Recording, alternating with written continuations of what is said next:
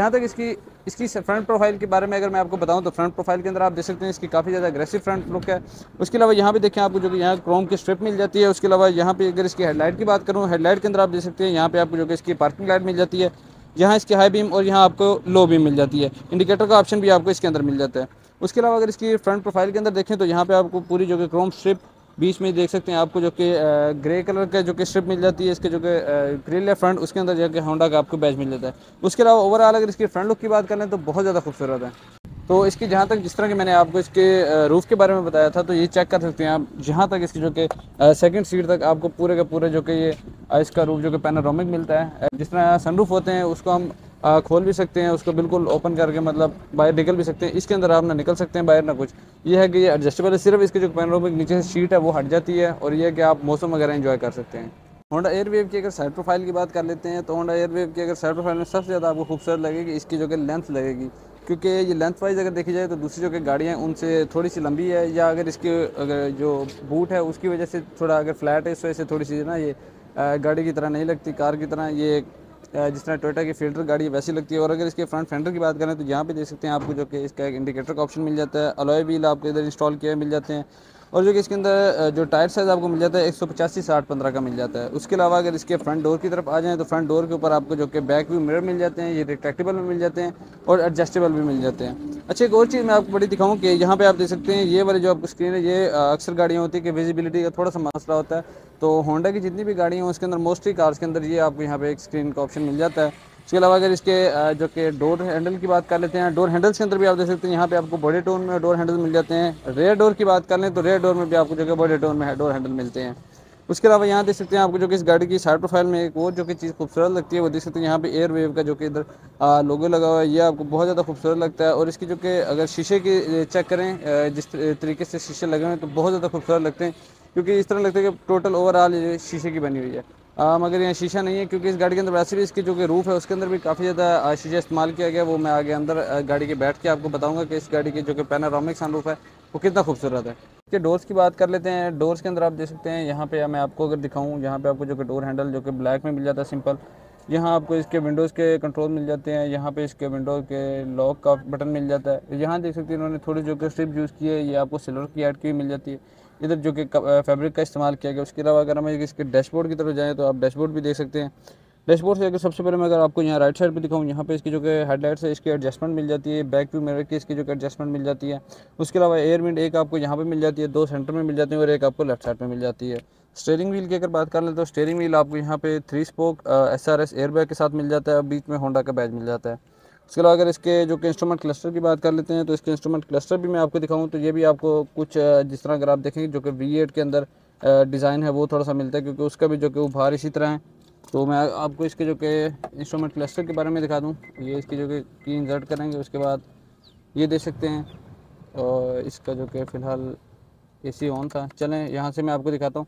तो यहाँ पे आप बिल्कुल राइट साइड पे देखें, यहाँ पे आपको जो कि इसके फ्यूल की गेज मिल जाती है। राइट साइड पे यहाँ पे आपको इसकी स्पीडोमीटर मिल जाता है लेफ़्ट साइड पे आरपीएम मीटर और इस साइड पे आपको इसकी हीट की गेज मिल जाती है। उसके अलावा जिस तरह ऑटोमेटिक है, यहाँ पे आप देख सकते हैं P R N D S L जो इसके जितने भी गेयर शिफ्टिंग के ऑप्शन है, वो आपको यहाँ स्क्रीन में मिल जाते हैं। सेंट्रल यूनिट की बात करें तो यहाँ पे आपको जो कि इसके हेजर लाइट का बटन मिल जाता है। नीचे यहाँ पे आपको क्लाइमेट कंट्रोल के ऑप्शन मिल जाते हैं और यहाँ पे देख सकते हैं यहाँ पे आपको डिजिटल में मिल जाते हैं। जहाँ तक इसके गेयर नॉब की बात कर लेते हैं तो गेयर नॉब भी इसका बहुत ज़्यादा खूबसूरत और यहाँ पे देख सकते हैं ऊपर इसके यहाँ आपको एयरवेव लिखा हुआ मिल जाएगा। यहाँ पे थोड़ी सी आपको स्पेस मिल जाती है। यहाँ पे अगर आप कोई अपनी वायर या कप होल्डर के लिए ये फ़िलहाल ओपन नहीं हो रहा तो यहाँ पर आपको थोड़ी सी स्पेस मिल जाती है। उसके अलावा ट्वेल्व वोल्ट का चार्जर का ऑप्शन आपको यहाँ नीचे मिल जाता है। यहाँ एक छोटा सा आम का ऑप्शन मिल जाता है आपको। पे एक और चीज़ दिखाऊँ कि यहाँ पे डैशबोर्ड के अंदर आपको थोड़ी सी स्पेस मिल जाती है। अगर आप अपने कार्ड वगैरह या खुले पैसे वगैरह रखना चाहें तो आप यहाँ पे रख सकते हैं। जहाँ तक इसे ग्लव बॉक्स की बात कर लेते हैं तो ग्लव बॉक्स की स्पेस भी आप देख सकते हैं, आपको यहाँ नॉर्मल मिल जाती है। उसके अलावा आपको एक एयर बैग का ऑप्शन लेफ़्ट साइड पे मिल जाता है। अगर इसकी रूफ़ की बात करें तो यहाँ पे जो कि आपको सनशेड विदाउट वेनिटी मिरर मिल जाता है। इस साइड वाला जो सनशेड है, यहाँ पे आपको वेनिटी मिरर का ऑप्शन मिल जाता है।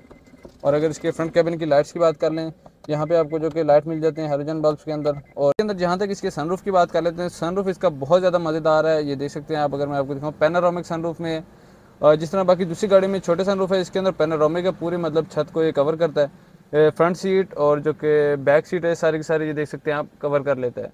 तो ये है कि ये इसे एडजस्ट हुआ हुआ है, इसके अंदर ये आप इसे खोल नहीं सकते। इसलिए ये है कि जो इसका ये कवर है, इसको आगे पीछे कर सकते हैं, ताकि सिर्फ़ आप ऊपर का मौसम इंजॉय कर सकें, बाकी ये खुल नहीं सकता, क्योंकि छत के साथ इसकी फिक्स है। बाकी ये जो ऑप्शन है, मुझे इस एयरवेव के अंदर बहुत ज़्यादा पसंद आया है। एयरवेव की जहाँ तक इसकी बैक प्रोफ़ाइल की बात कर लेते हैं तो बैक प्रोफ़ाइल के अंदर सबसे पहले अगर आपको इसकी नज़र आएगा, जहाँ पे आपको इसका हाई माउंटेन लैम्प मिल जाएगा और यहाँ पे देखें आपको थोड़ा सा स्पॉयलर का जो कि टच दिया हुआ मिल जाता है। उसके अलावा अगर इसकी बैक प्रोफ़ाइल के अंदर देखें यहाँ पे आपको जो कि बैक स्क्रीन वाइपर मिल जाता है, यहाँ पे आपको एयरवेव का लोगो और यहाँ पे आपको देखें क्रोम की स्ट्रिप मिल जाती है। जहाँ तक इसकी बैक प्रोफ़ाइल के अंदर जो इसकी बैक लाइट्स की बात है, वो कर लेते हैं तो यहाँ पे देख सकते हैं आपको बैक लैंप्स इंडिकेटर और ये आपको रिवर्स का ऑप्शन मिल जाता है। और जहाँ तक अगर इसके मैं बूट स्पेस की बात करूँ तो बूट स्पेस मैं आपको दिखाता हूँ। बूट स्पेस देख सकते हैं, इस गाड़ी के अंदर बहुत ज़्यादा है। तो बूट स्पेस देख सकते हैं आपको जिस तरह फिल्डर हो गई और दूसरी गाड़ियाँ हो गई प्रो बॉक्स हो गई, वैसे इसकी जो कि बूट की में स्पेस भी बहुत ज़्यादा है। क्योंकि यहाँ पे देख सकते हैं, अभी भी अगर हमने टायर दूसरी गाड़ी में रखे तो मेरा निकाल के इस तरीके इतनी स्पेस बचेगी आपके पास भी। तो अगर आपके पास, इसके बावजूद भी स्पेस कम है तो आप ये देख सकते हैं कि इसकी जो कि जो कि बैक वाली सीट्स हैं, इसको आगे की तरफ़ फोल्ड करके इसकी स्पेस को मज़ीद बढ़ा सकते हैं। बाकी स्पेयर व्हील की जो कि इसकी स्पेस है, वो यहाँ पे इसके नीचे है, क्योंकि इसके नीचे सामान पड़ा है, मैं अभी इसको उठा के आपको नहीं दिखा सकता। बाकी अगर आप यहाँ से देखें तो गाड़ी की अगर आप अंदर इसके जगह भी देखें, अगर इसको आगे मैं, बल्कि आपको एक मतलब फ़ोल्ड भी करके दिखा देता हूँ कि यहाँ पर आपको कितनी स्पेस मिल जाती है।